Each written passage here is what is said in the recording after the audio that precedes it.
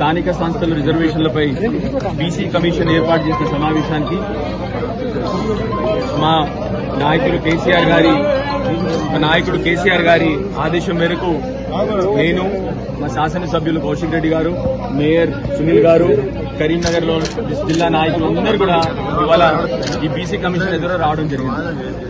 బాధాకరం ఏంటంటే మేము సంపూర్ణ మద్దతుతో ఈ నలభై రెండు శాతం రిజర్వేషన్కి కేసీఆర్ గారు రెండు వేల పద్నాలుగు నుండి కూడా జనాభా ప్రాతిపదికన రిజర్వేషన్లు ఉండాలి అని చెప్పి తెలంగాణలో రాష్ట్రంలో రెండు వేల పద్నాలుగు నుంచి కూడా కేసీఆర్ గారు ఒకే మాట మీద నిలబడ్డారు.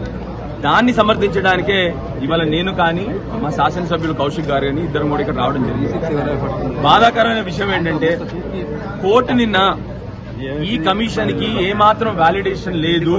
ఈ క- ఈ- కమిషన్కి శాంటిటీ లేదు అన్నను కూడాను అయినా కూడా ఈ కమిషన్ మీద ఉన్న గౌరవంతో ఈ కమిషన్ మీద ఉన్న గౌరవంతో ఇక్కడి వరకు రావడం జరిగింది. ఎందుకంటే మా మాట చెప్పడానికి కోర్టు ఈ కమిషన్కి వ్యాలిడిటీ లేదన్నాను కూడాను.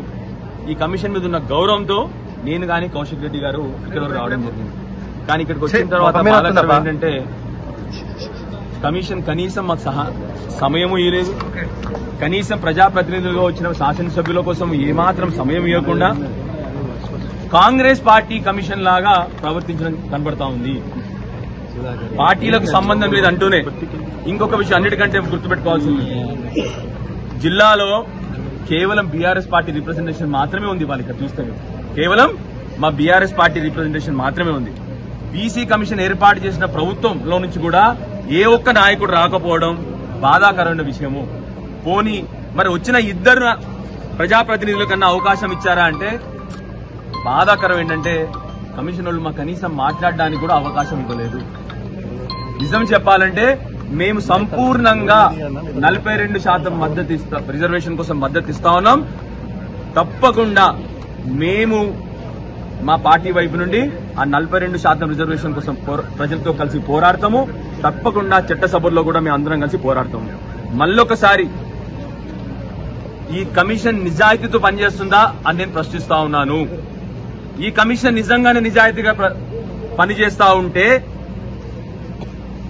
మరి ఎందుకు ఏ ఒక్క నాయకుడు కాంగ్రెస్ పార్టీ తరఫున ఇవాళ రాలేదు ఇక్కడికి? ఏ ఒక్క పార్టీ తరఫున ఇంకొక శాసనసభ్యులు కూడా రాలేదు. అందుకే ఎట్లా అయితే నేను కోర్టు చెప్పినదో సపరేట్ కమిషన్ ఏమని చెప్పి మేము కూడా అదే రిక్వెస్ట్ చేస్తున్నాం. ఇమీడియట్గా సపరేట్ కమిషన్ వేయండి. ఎందుకంటే ఈ కమిషన్ మీద మాకు చాలా వరకు డౌట్లు వస్తా ఉన్నాయి ఇవాళ. సో దయచేసి కమిషన్కి మళ్ళీ ఒకసారి రిక్వెస్ట్ చేస్తున్నాం. మీ మీద ఉన్న గౌరవంతో మేము ఇక్కడ రావడం జరిగింది. మీరు బుల్డోస్ వేసి మాకు మైక్ ఇవ్వకుండా మరి మా ఒపీనియన్ తీసుకోకుండా ఎందుకు పెట్టినట్టు కమిషన్ నాకు ఇంకా అర్థం అవ్వట్లేదు మా నా కాన్స్టిట్యున్సీ బీసీ వర్గాల తరఫున నేను వాళ్ళు ఇక్కడికి వస్తే కనీసం మాట్లాడే అవకాశం కూడా ఇవ్వలేదు. వాళ్ళ కష్ట సుఖాలు ఆ రిజర్వేషన్లు వాళ్ళ విద్య ఉద్యోగాలు ఇవన్నిటి గురించి మాట్లాడడానికి వస్తే కనీసం అవకాశం ఇవ్వలేదు. ఇది ఏం చెప్తా ఉందంటే ఈ ప్రభుత్వం ఆలోచన విధానం చెప్తా ఉంది క్లియర్గా. ఈ ప్రభుత్వం యొక్క ఆలోచన విధానం క్లియర్గా చెప్తా ఉంది. ఈ కమిషన్ కేవలం తూతు మంత్రంగా పనిచేస్తుందా అని చెప్పేసి మాకు డౌట్గా వస్తా ఉంది. థ్యాంక్ యూ జై తెలంగాణ.